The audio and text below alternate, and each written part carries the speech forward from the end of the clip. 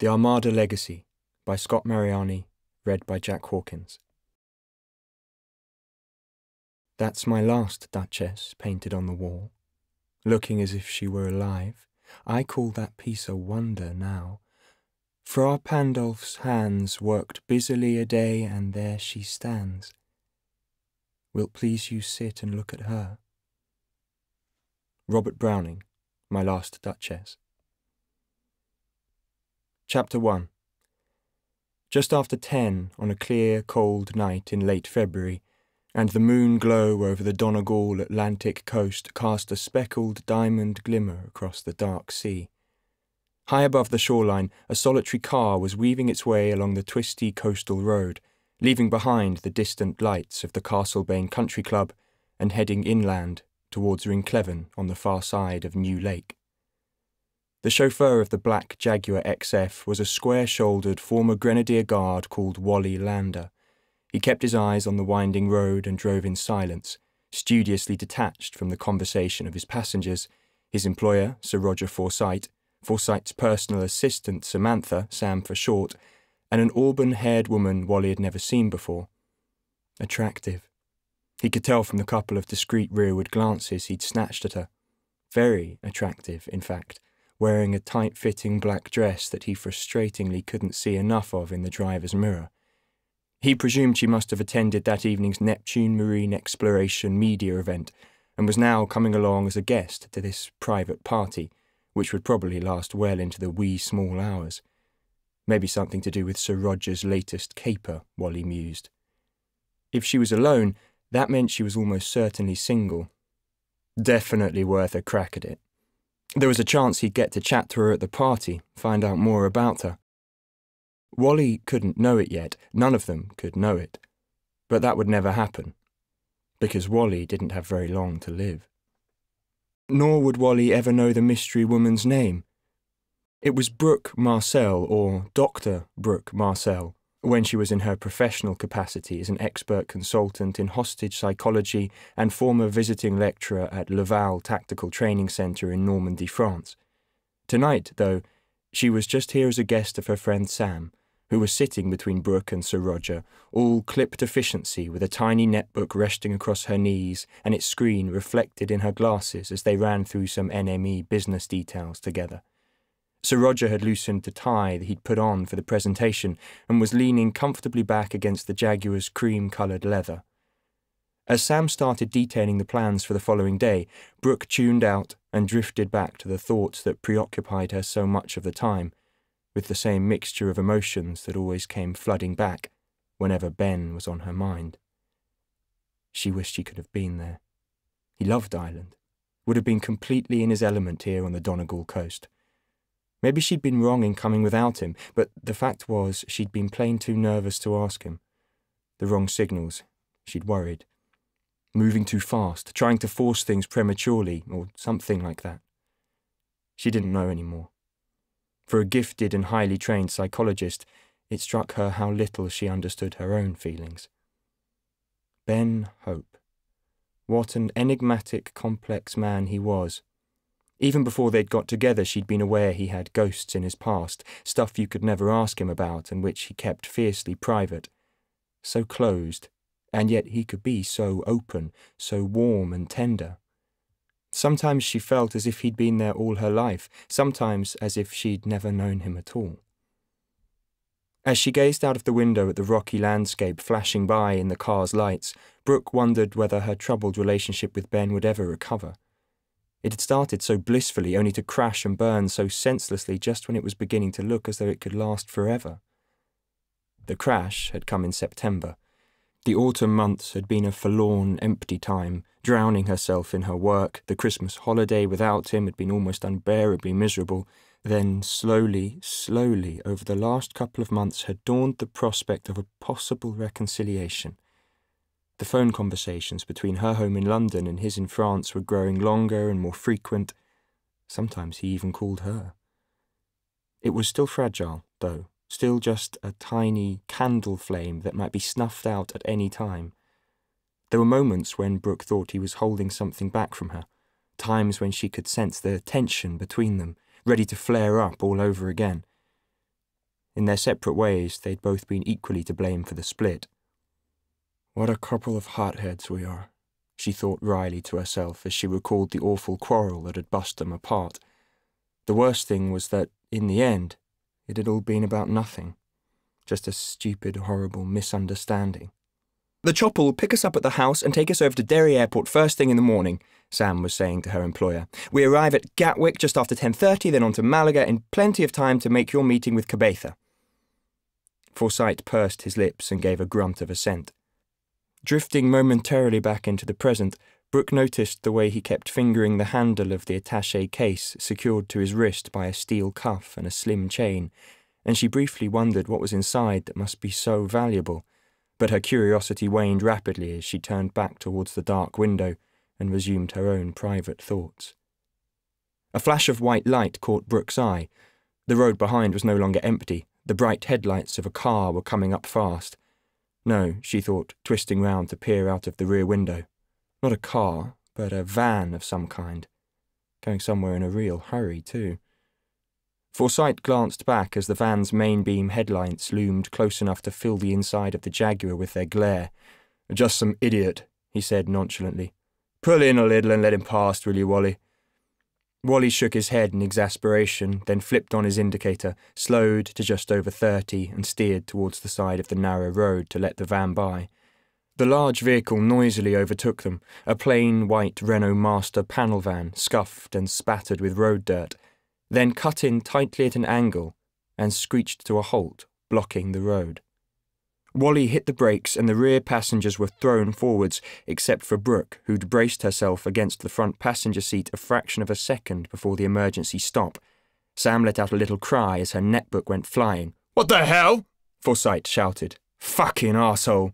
Wally thrust the automatic gearbox into park and left the engine running as he climbed out of the car. What's your game, you bloody prick? he yelled, slamming his door shut and storming up to the stationary van. The Renault Master's doors burst open simultaneously. Wally stopped dead in his tracks and went quiet as two men jumped out and strode aggressively towards him. They were both wearing black balaclavas, and not because of the biting February wind. Brooke's blood turned icy at the sight of the weapons in the men's hands. Identical compact submachine guns, black and brutal with long tubular sound moderators attached to their muzzles. She'd seen weapons like those before. So had Wally Lander, once upon a time, but his nine years out of the army had blunted his senses and all he could do was gape. Oh my God! Sam gasped. Forsyte stared in speechless horror, clutching his attache case. Neither of the masked men spoke a word. Instead, almost casually, they turned their weapons towards Wally and opened fire. From inside the car, the silenced gunfire seemed like no more than a rapid string of muffled thumps. Wally's legs folded under him, then he collapsed lifelessly at the roadside. His blood was bright in the beams of the Jaguar's headlights. Sam screamed in panic and clung onto Forsyte. What do they want with us, Roger? Oh, Jesus, they're going to kill us.